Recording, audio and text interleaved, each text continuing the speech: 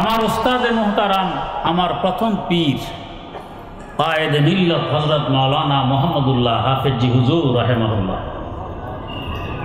ঢাকা দোহার থানা শিলাকোঠা এমদাদুল উলুম মাদ্রাসার মহতামেম, উনি এখনও জীবিত আছেন। মাওলানা হাফেজ আব্দুর রহিম জিদা মজদুর। তিনি একটি মসজিদ দেখায় আমাকে বললেন, হুজুর আমাদের মাদ্রাসার মাহফিলে আমি হাফেজি হুজুর রাহেমাহুল্লাহ তালাকে নিয়ে আসতেছিলাম। সুদিনকাল শুকনো খাল, খালের তলা দিয়ে হাঁটাই আনতেছি। এখানে এসে হুজুর বললেন, দাঁড়াও, নামাজ পড়ে নি খালের তলায় হুজুর নামাজ পড়লেন। দু চার দিন পর এখান দিয়ে যাওয়ার পথে দেখি, এলাকার লোকেরা খালটি ভরট করে ফেলতেছে। জিজ্ঞেস করলাম, কি ব্যাপার? খাল ভরট করতেছ? এরা জবাব দিল, আমরা সিদ্ধান্ত নিয়েছি, এখানে আমরা মসজিদ দিব। আল্লাহর এক অলির কপাল এখানে পড়েছে খালের তলায়। আল্লাহ পাক তার কপালের ইজ্জত রক্ষার্থে খালের তলাকে কেয়ামত পর্যন্তের জন্য মসজিদে রূপান্তরিত করে দিল।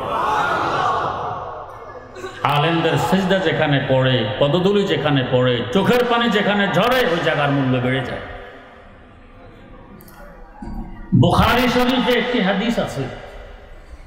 বনে ইসরায়েলের এক ডাকাত মানুষ খুন করত মাল্য করত।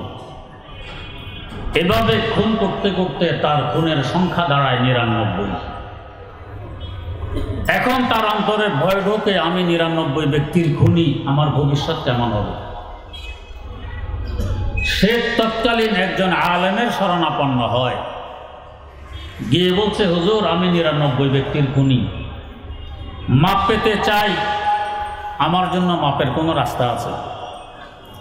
হুজুর ছিলেন কাঁচা, অপরিপক্ক। নিরাশ করে ফেললেন বলেন আরেক বাপরে বাপ, তুমি নিরানব্বই জন লোককে খুন করেছ, আবার তোমার মাপ কিসের মাপ তোমার? ডাকাত নিরাশ হয়ে গেল। দেখল, আমার যখন ক্ষমাই হবে না, এই হুজুরকে রেখে কি লাভ? তলোয়ার দিয়ে হুজুরকেও দুটো করে একশো পুরো হয়ে গেছে। কিছুদিন পর আবার ভয় ঢুকলো, আমি একশো লোকের খুনি, আমার অবস্থা কি হবে?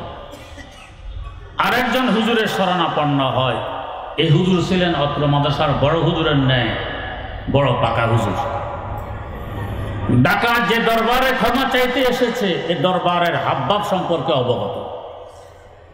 তিনি আশ্বস্ত করলেন হ্যাঁ এই দরবারের তো বৈশিষ্ট্য রহমাতিল্লাহ। আল্লাহর রহমত থেকে কেউ নিরাশ হইল না। এই দরবার বাজ আ বাজ আ, হর আঁচে হাস্তি, বাজ আ। বাজ আ, বাজ হাস্তি, বাজ আ। গর্বাতে লোহিবরো বুকুরুস্তি বাজ ই দরগাহে, মা দরগাহে নাও মেদনিস সদবার আগার তবা শিকস্তি বাজা। ও আমার ভাগুড়ে গোলাম, যত দূরেই ভেঙে যাও না কেন, ফিরে আসো, আমি এখনও তোমার অপেক্ষায় আছি। শত সহস্রবার যদি তবা বন্ধ করো, তারপরও ফিরে আসো, আমি তোমার অপেক্ষায় আছি। আলেন তাকে আশ্বস্ত করলেন। বললেন হ্যাঁ তোমারও তবা কবুল হবে। মা পাওয়ার রাস্তা আছে। তবে তোমাকে একটি শর্ত পূরণ করতে হবে। কি শর্ত? ওই যে গ্রামটি দেখা যায়, বস্তি দেখা যায়, এটা আলেমল আমাদের বস্তি আল্লাহ আলাদের বস্তি। ওখানে গিয়ে তবা করলে তোমার তবা কবুল হবে।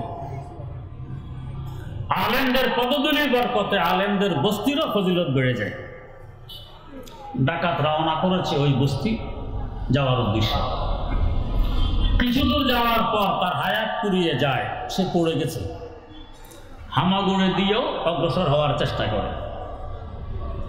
হামাগুড়ির শক্তি শেষ হয়ে গেল, শেষ ম্যাচটা সিনাটা ওই বস্তির দিকে ফিরিয়ে রাখে। এই অবস্থায় তার রু দেহ ত্যাগ করে। এখন দুই দল ফেরেস্তার মধ্যে তার রু নিয়ে কাড়াকাড়ি আরম্ভ হয়। রহমতের ফেরেস্তা আজাবের ফেরেস্তা আজাবের ফেরেস্তারা বলছেন, এই লোক একশো লোকের ঘুমি এখনও ওই বস্তিতে পৌঁছেনি, তওবা করেনি, তার গুণা রয়ে গেছে। অতএব তার রু আমরা নিয়ে সিজিনে রাখব। রহমতের ফেরেস্তারা বলছেন, আল্লাহ পাক হায়াত দেননি বিদায়, ওই বস্তিতে পৌঁছতে পারেনি। হায়াত দিলে তো ওখানে পৌঁছতো তবা করত। অতএব তার রু আমরা নিয়ে ইল্লিজিনে রাখব। দুই দল ফেরেস্তার মধ্যে কাড়াকাড়ি আমার আল্লাহ আরেকজন ফেরেস্তা পাঠালেন, যাও, এদের কাড়াকাড়ি মীমাংসা করে আসো। আল্লাহ তো সব দেখতেছেন, বুঝতেছেন, ফল কি হবে তাও জানতেছেন। এই রহস্য বুঝার মতো যোগ্যতা আমাদের নেই। সিদ্ধি হাম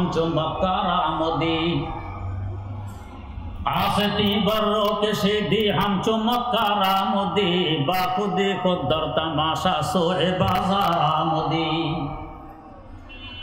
শোরে মানসুর আজ কুজা ও দারে মানসুর আজ কুজা খোঁজা দি বাঙ্গে আনাল হক বরসারে দারামুদি খোঁজা দি বাঙ্গে আনাল হক বরসারে দারামুদি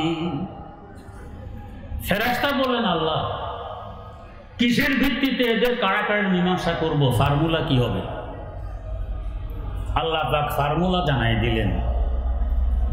এই ডাকাত যেখান থেকে রওনা করেছে সেখান থেকে রাস্তাটি মাপতে মাপতে যেখানে এসে মারা গেছে, এখান পর্যন্ত পৌঁছবে। দেখবে এটা কত লম্বা। এরপর মারা যাওয়ার জায়গা থেকে মাপ দিতে দিতে ওই আল্লাহওয়ালাদের বস্তি পর্যন্ত পৌঁছবে। দেখবে এটা কত লম্বা। তারপর উভয় দিকে রাস্তাকে তুলনা করে দেখবে কোন দিকে রাস্তা বেশি। যদি দেখো সামনে বেশি, পিছনে কম অর্থ হবে তবা থেকে এখনও দূরে আছে। তার রু আজাবের ফেরাস্তাকে দিয়ে দিও। আর যদি তার বিপরীত দেখো, পিছনের রাস্তা বেশি, সামনের কম, তার মানে হবে তবার দিকে অধিক এগিয়ে গেছে, তখন তার রু রহমতের ফেরাস্তাকে দিয়ে দিই ফার্মুলা নিয়ে ফেরাস্তা আসতেছে না বাস্তবে তার পিছনের রাস্তা ছিল কম, সামনের রাস্তা ছিল বেশি। ফার্মুলা অনুপাতে তার রূপ পাবে আজাবের ফেরেস্তারা লোকটি জাহান নামি হবে। কিন্তু আমার আল্লাহ তো রহমান রহিম। তার রহমতের সাগরের তো কোনো পুল কিনারে নেই। তার তো শান হলো, আয় রব তো কারিমি, ও রাসুলে তো কারিমি। আয় তো ও তো হাসতে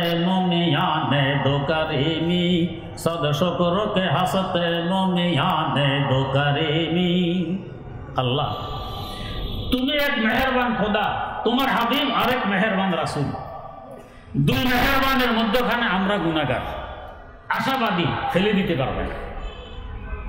আল্লামা মুসাদ্দাসের মধ্যে লিখেছেন হামনে কে হ্যাঁ আবাদ হ্যাঁ ফেরা ফের হ্যাঁ তোমারে हमने कहे याबद है फेरा फेर है तुम्हारे निस्बत बहुत अच्छी है मगर हाल बुरा है निस्बत बहुत अच्छी है मगर हाल बुरा है আল্লাহ নেককার হই আর বৎকার হই শেষমেশ তো তোমাদের আমাদের সম্বন্ধ অনেক ঊর্ধ্বে তোমার দিকে তাকাইলে আমরা তোমার বন্দা, তোমার হাবিবের দিকে তাকাইলে আমরা তার উন্মত এই সম্বন্ধের বরকতে আশাবাদী আমরা মাপ পেয়ে যাব। পিছনের রাস্তা কম, সামনের রাস্তা বেশি। ফার্মুলা অনুপাতে লোকটি জাহান নামি হবে। আমার আল্লাহ রহমান রহিম ফেরেস্তা আসার আগে আগে পিছনের রাস্তা কি হুকুম দিলেন? ও রাস্তা তুই লম্বা হয়ে যা। সামনের রাস্তাকে আদেশ করলেন, ও রাস্তা তুই খাটো হয়ে যা। হুকুম পাওয়া মাত্র, পিছনের রাস্তা লম্বা, সামনের রাস্তা খাটো হয়ে যায়। এখন ফেরাস্তা এসে মাপ দিতেছেন, কাজ তো হয়ে গেছে। সে মাপ পেয়ে গেল, এখনও আল্লাহ আলাদের বস্তি আলেমল আমাদের বস্তিতে পৌঁছেনি, বস্তির রাস্তায় উঠেছে না। আল্লাহ রুমে তাই বলতেছেন দরসে রাতে মোস্তাকি মায়ে দিল কাছে গোমরাহানিস বন্দা। তোমার আমার নে দুর্বলের পক্ষে কি নিজ শক্তি ব্যবহার করে গন্তব্যে পৌঁছা আদৌ সম্ভব? তুমি চেষ্টা করে কোনো প্রকার রাস্তায় উঠো আমার আল্লাহ রহমত তোমাকে গন্তব্যে পৌঁছাই দিবে। ডাকাত রাস্তায় উঠেছে তবার এখনও তবার বস্তিতে পৌঁছতে পারেনি। রাস্তার বরকতেই তবা কবুল হয়ে গেছে। আলেমল আমাদের বস্তির বরকত। এই চেহারা আলেমদের বস্তি। দাম বেড়ে গেছে। এই মাদ্রাসা আলেমদের বস্তি জগতের জায়গাগুলো থেকে এই জায়গার দাম অনেক বেশি। এখানে এসে তবা করলে তবা কবুল হয়, মাপ চাইলে গুণা মাপ হয়। আলেমদের বস্তি। কান বলেন, জিব্বা বলেন, চোখ বলেন, এদেরকে ব্যবহার করে আমাদের ব্রেন। তার মানে ব্রেন হলো ওস্তাদুল ওলামা, আলেমদের ওস্তাদ। তাই ব্রেনকে স্থান দিলেন আরও উপরে। দিলেন তো দিলেন, হেফাজত কি করি না? মগজের উপরে পাতলা একটি আবরণ, এর উপরে হাড়ের ওয়াল, তার উপরে চামড়ার বেড়া, এর উপরে চুলের চাল। এত ব্যবস্থাপনা কেন? আলেমদের ওস্তাদ ভিতরে আছে। কোনো দুয়ার জানালা নেই, কোনো শত্রু ঢুকতে চাইলেও পারবে না। ওয়াল্লাজিনা হুতুল এলমা দারাজাত। আবার এই ব্রেনকে নিয়ন্ত্রণ করে আমাদের কলব। তার মানে কলব হলো ওস্তাদুল আসাতেজা। ওস্তাদেরও ওস্তাদ তাই কলবকে দিলেন সিনার ভিতরে। সিনাকে আরবিতে বলে সদর। সদর মানে প্রেসিডেন্ট। প্রেসিডেন্ট থাকেন রাজধানীতে। রাজধানী হয় দেশের মধ্যখানে। সিনা আমাদের দেহের মধ্যখানে। পায়ের গোড়া দিয়ে কেটে ফেলে দিল, চিকিৎসা করলে আপনি বাঁচবেন। মূল দেহ কমর থেকে মাথা। এই দেহের পেট কেটে ফেলে দেন, বাঁচবেন না। সিনা কেটে ফেলে দেন, বাঁচবেন না। কল্লা কেটে ফেলে দেন, বাঁচবেন না। মূল দেহের মধ্যখান সিনা। এখানে আল্লাহ পাক ঠিক করলেন কলব রাজধানীতে। কেন সে ওস্তাদের ওস্তাদ? গরু, ছাগল জবাই করলে দেখবেন কত পর্দার ভিতরে সংরক্ষিত এলাকায় থাকে এই হাট কলম। এখানে কেউ বলবেন, হুজুর, বুদ্ধির মূল কেন্দ্র, বিদ্যার মূল কেন্দ্র ব্রেন না কলম আমরা তো ব্রেন মনে করি, আমার আল্লাহ বলেন কলম আল্লাহ বলেন, লাহুম বিহা। এদের কলব আছে, কলব দিয়ে তারা বুঝে না, বোঝার চেষ্টাও করে না। কেউ হয়তো প্রশ্ন করবেন, ইসলাম বাস্তবসম্মত একটি দিন। অবাস্তব কোনো কথা এই দিনে পাওয়া যাবে না। কিন্তু এই কথাটি মনে হয় অবাস্তব। বুদ্ধির মূল কেন্দ্র ব্রেন, আল্লাহ বলেন, কলব, মনে হয় অবাস্তব। স্ট্রোক করলে মানুষের বুদ্ধি থাকে না। প্রশ্নটির উত্তর বোঝার জন্য একটি ঘটনা বলছি। আমাদের দেশে বর্তমানে হাদিস শাস্ত্রে যাকে সবচেয়ে বড় আলেম মানা হয় বাস্তবেও তিনি এই বিষয়ে সবচেয়ে বড় আলেন আলহামদুলিল্লাহ, আমাদের একখানে বাড়ি এক মাদ্রাসায় লেখাপড়া করেছে। তিনি হলেন জনাব মাওলানা আব্দুল মালেক সাহেব। তিনি যখন ছোট, তিনি আমাকে তার একটি ঘটনা শুনাইলেন। ওনার আব্বা ওনাকে নিয়ে মাহফিলে এসেছেন ওয়ার শুনতে পিছনে জায়গা পেয়ে সেখানে বসে পড়েছেন। গ্রামগঞ্জে মাহফিলে বাঁশ গেড়ে বাঁশের আগায় হরন বাঁধা হয়, মাইকের হরণ। স্টেজ দেখা যায়। একটু পর তিনি তার আব্বাকে জিজ্ঞেস করতেছেন, আব্বা, হুজুরকে বাঁশের আগা থেকে নামাবে কীভাবে?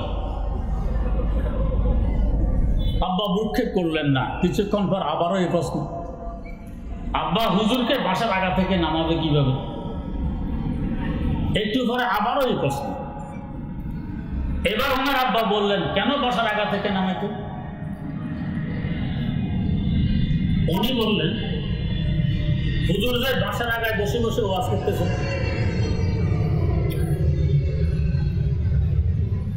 হুজুর বাসার আগায় বসে বসে ওয়াজ করতেছেন নামাবেন কি? আসলে হুজুর বাসার আগায়, হুজুর তো স্টেজে তো উনি কেন বুঝতেছেন হুজুর বাসার আগায়? আওয়াজ ওখান দিয়ে বেরিয়ে আসতেছে, হরণ ওইখানে। উনি ছোট্ট মানুষ এতটুকু বুঝ এখনও হয়নি। তাই উনি বুঝতেছেন, হুজুর এখানে বাসার আগায় বসে বসে ওয়াজ করতেছেন। এবারে আসুন। যাদের গভীর বিদ্যা বুদ্ধি নেই, এরা মনে করে ব্রেন হলো বুদ্ধির মূল কেন্দ্র। যাদের গভীর এলেম আছে, বিদ্যা বুদ্ধি আছে, এরা বোঝে না। মূল কেন্দ্র হলো কলব, মূল কেন্দ্র হাত, ব্রেন হলো হরণের ন্যায়। বুদ্ধি ওখান দিয়ে এসে প্রকাশ পায়। তাই দেখা গেছে, এক শ্রেণির মানুষ ব্রেনের উপরে মেহনত করে আর এক শ্রেণির মানুষ কলমের উপরে মেহনত করে। ব্যবধান কত?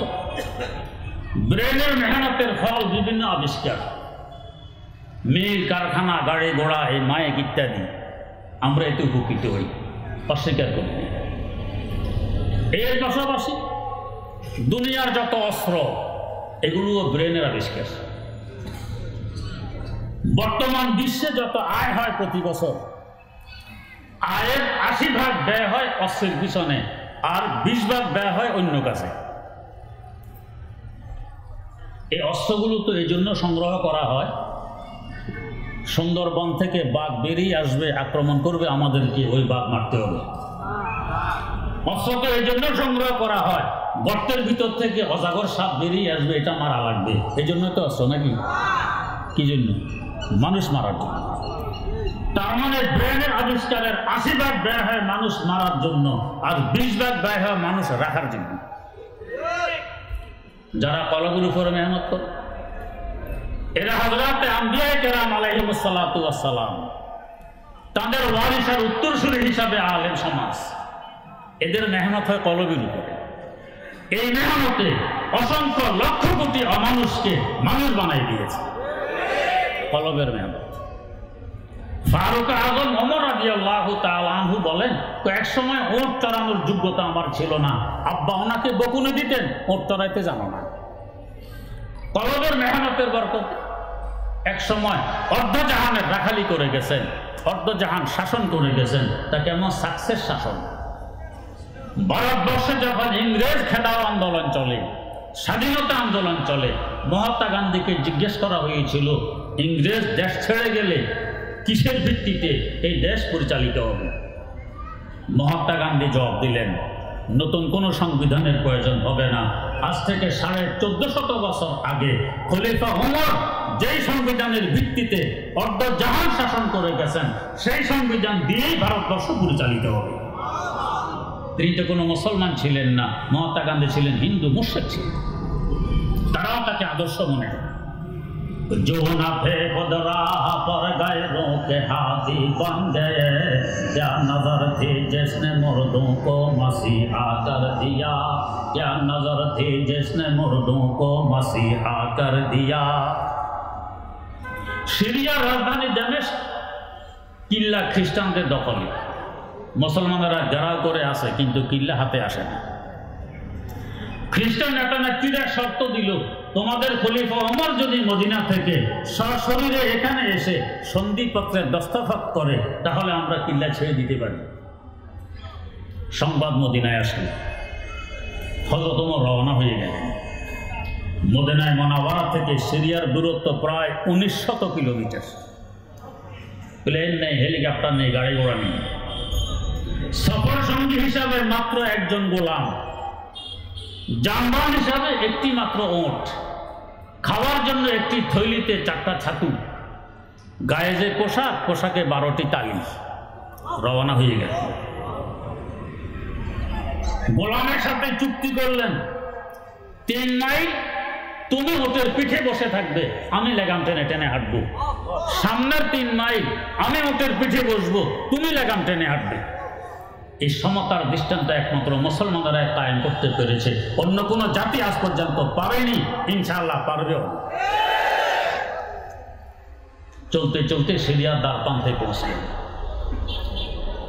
কিছু মুসলমান এগিয়ে আসলেন। এসে দেখেন গায়ে তালিওয়ালা জামা। বললেন, হুজুর, সিরিয়া রোম সম্রাটের প্রদেশ, তৎকালীন সুপার পাওয়ার। আপনার নাম শুনলে তারা থরথর করে কাঁপে। এখন যদি দেখে আপনার গায়ে তালিওয়ালা জামে জীর্ণ শীর্ণ অবস্থা, তারা কি ভাববে? একটি ভালো জামার ব্যবস্থা করা হল হুজুর, তাদের মন ভাঙলেন না। তালিওয়ালা জামাটি খুলে ভালো জামাটি গায়ে দিলেন। এরপর আবার ভালো রেখে নিজের তালিওয়ালা জামা গায়ে দিয়ে বললেন, তোমাদের সুন্দর জামা, তোমাদের মোবারক হোক, আমাকে আমার তালিওয়ালা জামায় গায়ে দিতে দাও। আল্লাহ পাকের মর্জি শেষ মঞ্জেল, শেষ তিন মাইল। হজরত ওমরের ভাগে পড়ে, লেগাম টেনে হাঁটা আর গোলামের ভাগে পড়ে ওটের পিঠে বসা। গোলাম বলছে, হুজুর, ওরা কি ভাববে যে এই মুসলমানদের খলিফা অর্ধ জাহান শাসন করে? আপনি পিঠে বসুন, আমি লেগাম টেনে টেনে হাঁটি। হজরত ওমর বললেন, অসম্ভব, এটা তোমার হক। হুজুর, আমার হক আমি ছেড়ে দিলাম। ছেড়ে দিয়েছ, তুমি জানো, আমি জানি, আমার তোমার খোদায় জানেন। এই ঘটনা একসময় ইতিহাসে লিপিবদ্ধ হবে। দুনিয়াবাসী ভাববে অমর ক্ষমতার দাপটে দুই মঞ্জেল ছয় মাইল পর্যন্ত ওটের পিঠে বসা ছিল, গোলাম বেচারা দুর্বলতার কারণে। দুই মঞ্জেল ছয় মাইল উঠে লেগাম টেনে টেনে হাঁটতে বাধ্য হয়েছিল। এই কলঙ্ক আমার ইতিহাসে আসবে, তা আমি বরদাস্ত করতে পারব না। লেগাম টেনে টেনে হাঁটতেছেন হাকিমুল উম্মত মুজাদ্দিদুল মিল্লাত শাহ আশরাফ আলী লেখেন, খ্রিস্টান নেতা নেত্রীরা কিল্লার উপর তাকাই আছে মুসলমানদের খলিফা আসতেছেন। তাদের তো হয়তো ধারণা, বিশাল মিছিল নিয়ে আসবে কি শান শকতে অর্ধজাহানের ক্ষমতার মালিক। এখন দেখে মাত্র দুইজন মানুষ, একজন উঠের পিঠে বসা আর একজনের হাতে উঠের লাগাম, টেনে টেনে হাঁটতেছে, গায়ে বারোটি তালিওয়ালা জামা। পাশিরের পাশে পৌঁছলে খ্রিস্টান নেতা নেত্রীরা সন্ধিপত্রে চুক্তিপত্রে সব দস্তখত ছাড়া পাশির উপর থেকে কিল্লার গেটের চাবি নিক্ষেপ করে দিয়ে দিল। অমর চাবি নিয়ে যাও কিল্লা। তোমার শুধু কিল্লা নয়, আমাদের কল্লাও দিয়ে দিলাম। আমরা এখন তোমার গোলাম। অমর পড়ে নিচ্ছিল ইলাহা ইল্লাল্লাহু মুহাম্মাদুর রাসূলুল্লাহ। জিজ্ঞেস করা হলো, এখনও তো সন্ধিপত্রে অমর সিগনেচার করেনি। ইসলামের দাওয়া তোমাদেরকে দেয়নি। চাবি কেন দিয়ে দিলে, কিল্লা কেন তার হাতে তুলে দিলে? নিজেরাও কেন ইসলাম গ্রহণ করে তার গোলামে পরিণত হলে? খ্রিস্টান পাদ্রীরা জবাব দেয়, আমাদের ধর্মীয় গ্রন্থে লিপিবদ্ধ আছে। এক জমানায় আরব থেকে একজন মহামানবের পদার্পণ ঘটবে এই জমিনে। ওই মহামানবের সাথে মোকাবেলা করতে পারে এমন কোন শক্তি এই পৃথিবীতে নেই। ওই মহামানব যে ধর্মের অনুসারী হবে, ওই ধর্ম হবে হক এবং সত্য ধর্ম। এই মহামানবের যে কিছু চিহ্ন, আলামত নিদর্শন আমাদের ধর্মীয় গ্রন্থে লিপিবদ্ধ আছে, সব তার মধ্যে পরিলক্ষিত হচ্ছে। আমাদের ধর্মীয় গ্রন্থে লেখা আছে, ওই মহামানবের হাতে থাকবে ওটের লেগাম। তার গোলাম থাকবে উঁটের পিঠে বসা। ওই মহানবের গায়ে যে জামা থাকবে, জামার মধ্যে থাকবে বারোটি তালি সব নিদর্শন তার মধ্যে পরিলক্ষিত হচ্ছে বিদায় আমাদের অন্তর এখন পরিষ্কার, সাক্ষী দিচ্ছে এই মহামানব, সেই মহামানব, যার ভবিষ্যৎ বাণী আমাদের ধর্মীয় গ্রন্থে লিপিবদ্ধ আছে।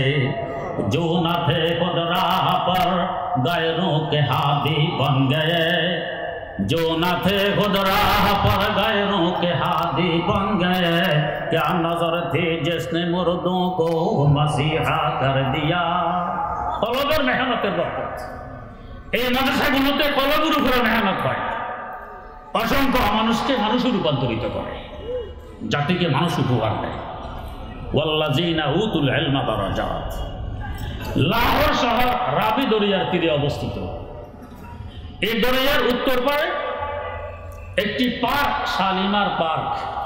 এই পার্কে সম্রাট জাহাঙ্গীরের কবর। আকবরের ছেলে শাহজাহানের আব্বা। দক্ষিণ পারে একজন বিজ্ঞ আলেম আল্লাহ অলি দাতা গঞ্জে বক্স আলী আল হজবিরি রাহেমুল্লাহ তালার মাজার। দুই পাড়ে দুইশো লোকেরা পার্কে ঢুকতে যায়। ঘুরতে ঘুরতে জাহাঙ্গীরের কবরের কাছে আসলে বেশি থেকে বেশি হাত তুলে দেখায়, এটা জাহাঙ্গীরের কবর। আর দক্ষিণ ভারতে একজন আলেম শুয়ে আছেন, প্রায় এক হাজার বছর আগে ইন্তেকাল করেছেন। আজ পর্যন্ত কোনো সময় বাদ নেই, না রাত, না দিন। মানুষ ইসালে সব না করছে, জেয়ারত না করছে, ফাতেহা না করছে, ইয়াসিন সুরা না করছে সুরা এখলাস না করছে ওয়াল্লাজিনা উতুল ইলমা দারাজাত আর ওই বেচারা পার্কের ভিতরে অসহায় অবস্থায় হতে, বলতেছে দরমাজা রে মা গরিবা নাই চেরা গো, নাই গোলে। রে মা গরিবা নাই চেরা গো, নাই গোলে। নাই পরে পরবানা সুজাদ, নাই সদা এ বুলবুলে। নাই পরে পরবানা সুজাদ, নাই সদা এ বুলবুলে। হায় আফসোস এক সময় ছিলাম মুকুটধারী সম্রাট আর বাদশাহ। এখন হাজার হাজার মন মাটি বুকের উপরে নিয়ে এতিমের ন্যায় অসহায় অবস্থায় অন্ধকার গর্তে পড়ে আছি। একটা মানুষ আমার কবরের পাশে এসে যে আরত করে না। সুরায় ফাতেহা পড়ে না, সুরায় ক্লাস পড়ে না। অপর পরে একজন আলেম শুয়ে আছেন। হাজার বছর যাবৎ অসংখ্য মানুষ যে আরত করে ইসালে সব করে। ইয়াসিন সুরা পড়ে সুরা এখলাস পড়ে আর ফাতেহা পড়ে। দরমাজারে মা গরিবা, নাই চেরা গো, নাই বলে দরমাজারে মা গরিবা, নাই চেরা গো, নাই বলে নাই পরে পরবা না সুজাদ, নাই সদা এ বুলবুলে। ওয়াল্লাযিনা উতুল ইলমা দারাজা। আল্লাহ পাক যাদেরকে এলেন দিয়েছেন, মর্যাদা অনেক বেশি। জীবদ্দশায়ও মানুষের অন্তরে এদের বাদশাহী চলে, এন্তেকালের পরেও মানুষের অন্তরে এদের বাদশাহী চলে। এই ধরনের মাদ্রাসাগুলো জাতিকে এই উপহার দেয়, যে মানুষের মতো মানুষ বানায় দেয়, মর্যাদাবান মানুষ বানায় এখানে একটি প্রস্তাব উত্তর দিচ্ছি। কেউ হয়তো বলবেন, হুজুর, কই মর্যাদা? আমরা দেখি এক শ্রেণির মানুষ আলেম সমাজকে নিয়ে হাসাহাসি করে, তিরস্কার করে মজা উড়ায়, ঠাট্টা করে, বিদ্রোহ করে। কত অবাস্তব, অবান্তর দোষ এদের গাড়ে চাপায়। কই মর্যাদা? বাইরা মর্যাদাবানের মর্যাদা বুঝার জন্য তো যোগ্যতা লাগে। যার মর্যাদা বুঝার যোগ্যতা নেই, সে কি মর্যাদা বুঝবে? আপনার হাতে যদি এখন এক হাজার টাকার একটি নোট দিয়ে বলা হয়, আপনার আব্বার কোলে গিয়ে একটু পায়খানা করে আসুন। পারবেন? কেন পারবেন না? আমার আপনার দৃষ্টিতে আব্বা সবচেয়ে বেশি মর্যাদাবান। তার কোলে পায়খানা করা যায় না। তিনি আমার জন্মদাতা পিতা। শিশুকালে করছিলেন কিনা? মাঝে মধ্যে দিনে কয়েকবার। তখন কি আব্বার ইজ্জতার মর্যাদা ছিল তখনও ছিল। তো পায়খানা কেন করলেন? মর্যাদা বুঝার মতো আমার যোগ্যতা ছিল না। তো আলেম সমাজের মর্যাদা বুঝার মতো যার যোগ্যতা নেই। ও তো তিরস্কারই করবে হাকিমুল উম্মত মুজাদ্দেদুল মিল্লাত হযরত শাহ আশরাফ আলী থানভী রহমতুল্লাহ আলাইহি একটি আশ্চর্য ঘটনা উল্লেখ করেছেন আলেফ কারণ ঘটনাটি হল, একজন হুজুর গুলিস্তা পড়াইতেন। পড়ানোর সময় একটি কথা পড়ানোর পর বলতেন এই কথাটির মূল্য পঞ্চাশ হাজার টাকা এই কথাটির মূল্য এক লক্ষ টাকা। টাকার অঙ্ক বলে বলে মূল্য বুঝাইতেন। ক্লাসে একজন ছাত্র ছিল বুদ্ধি বুদ্ধিশুদ্ধি কম। ও ভাবত কথাটি বাজারে নিয়ে বিক্রি করলে এক লক্ষ টাকা পাওয়া যাবে। একদিন মাদ্রাসা ছুট। বাড়ি যাওয়ার পথে তার পায়ের স্যান্ডেল ছিঁড়ে যায়। মুচির কাছে আসে স্যান্ডেল জোড়া দিতে। মুচি স্যান্ডেল জোড়া দিয়ে বলছে, ভাই, দুই টাকা দাও। ছাত্রটি করল কি? গুলিস্তার এক লক্ষ টাকা মূল্যের একটি কথা শুনে বলছে, ভাই, এটার মূল্য এক লক্ষ টাকা। তোমাকে দিলাম। এর বিনিময়ে আমার স্যান্ডেল দিয়ে দাও। মুচি বলছে এত কথা বুঝি টুঝি না দুই টাকা না দিলে আমি স্যান্ডেল দেবো না। বেচারা পড়েছে বিপাকে ওস্তাদ বললেন, এর মূল্য এক লক্ষ টাকা। মুচি হেঁটে না নিয়ে দুই টাকা চায়, কোথায় এক লক্ষ, কোথায় দুই টাকা। ফিরে এসেছে আবার মাদ্রাসায় গালি পায় জুতা তো মুচির কাছে আটক। এসে বলছে, হুজুর গুলিস্তা পড়ানোর সময় অমক কথার মূল্য এক লক্ষ টাকা বলেননি? ও হ্যাঁ বলেছে। সত্য বলেছে, একেবারে সত্য বলেছে। তো তাহলে মুচিকে দিলাম, সে ওইটা না নিয়ে দুই টাকা চায় কেন? হুজুর তো বোঝেন ছাত্রটি কত পানির মাছ। হুজুর একটি মুক্তা এনে ছাত্রের হাতে দিয়ে বললেন, যাও, এটা নিয়ে মুচিকে দাও, এর বিনিময়ে তোমার স্যান্ডেল দিতে বলো। ছাত্র মুক্তা এনে মুচির হাতে তুলে দিয়ে বলছে, ভাই, এটা মুক্তা এটা নিয়ে যাও, এর বিনিময়ে আমার স্যান্ডেল দিয়ে দাও। মুচি মুক্তা হাতে নিয়ে ছাত্রের মাথায় মারছে। মিয়া, কি দিতেছ আমাকে এটা? এটা কি কাজের অন্তত একটি বড় পাথর যদি হতো, তার উপরে জুতা স্যান্ডেল রেখে তার কাটা গাড়া দিত এটা কি কাজের দু টাকা না দিলে আমি স্যান্ডেল দিব না। বেচারা মুক্তা কুড়িয়ে আবার এসে গেছে হুজুরের কাছে এসে বলছে, হুজুর মুচি তো এটা গ্রহণ করছে না, সে দুই টাকা চায়। হুজুর বললেন, এটা নিয়ে এবার একটু স্বর্ণের দোকানে যাও। সরাসরি মালিককে গিয়ে বলো, বিক্রি করতে এসেছি, দাম কত দিবেন? তবে খবরদার কোনো বাহানায় ফেরত নিয়ে আসলে বিক্রি করবে না। ছাত্র মুক্তে এনে স্বর্ণের দোকানের মালিককে বলছে, মালিক, বিক্রি করতে এসেছি, দাম কত দিবেন মালিক দেখে অরিজিনাল মুক্তা, প্রথম খেলায় বলল পঞ্চাশ হাজার টাকা বিক্রি করবে? জি না, এক লক্ষ টাকা। আমার হুজুরের কাছ থেকে বুঝে আসি। ফিরে এসে বলছে, হুজুর সামনের দোকানের মালিক এক লক্ষ টাকা মূল্য বলতেছে। হুজুর বললেন, এবার কিছু বুঝে এসেছে? তো কদরে বল বল বলবে দানা দেয়া বেদানা দে শাহপরি কদরে বল বল বলবে দানা দেয়া বেদানা দে শাহপরি কদরে জওহর শাহ বেদানা দেয়া বেদানা দে জওহরি। কদরে জওহর শাহ বেদানা দেয়া বেদানা দে জওহরি। মনে মুক্তার মূল্য রাজা বাদশাহ বুঝে। মনে মুক্তার মূল্য বুঝার মতো যোগ্যতা মুচির কাছে নেই। এলেমের সামনে মনে মুক্তার দুই ঘোষা মূল্য আছে।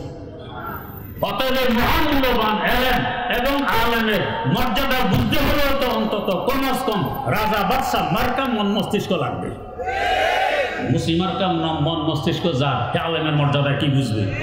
বুঝার মতো যোগ্যতাই তো নেই। তা যাদেরকে দেখবেন, আলেমদেরকে নিয়ে হাসাহাসি করে, তিরস্কার করে, কটাক্ষ করে, বিদ্রোহ করে, বুঝবেন মুসিমার কাম মন মস্তিষ্কের মালিক। মর্যাদা বুঝার মতো যোগ্যতা নেই। তাই বলে কি আবার এদেরকে ফেলে দিব? না। ছোট বাচ্চা যে আব্বা আমার কোলে পায়খানা করে ফেলে দে দুই মুছে পরিষ্কার করে আবার বুকে জড়িয়ে দেয় আমরা ওদেরকে ক্ষমা সুন্দর দৃষ্টিতে দেখে বুকে জড়িয়ে ধরবো। আজকে বোঝানা তিরস্কার করে কালকে বুঝবে তো মাথায় নিয়ে হাঁটবে।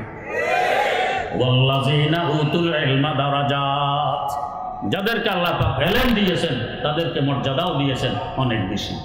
আল্লাহ রাব্বুল আলামিন আমাদেরকে বুঝার তৌফিক দান করুন সুবহানাল্লাহি ওয়া বিহামদি সুবহানাকাল্লাহুম্মা ওয়া বিহামদিক আশহাদু আল্লা ইলাহা ইল্লা আনতা আস্তাগফিরুকা ওয়া আতুবু ইলাইক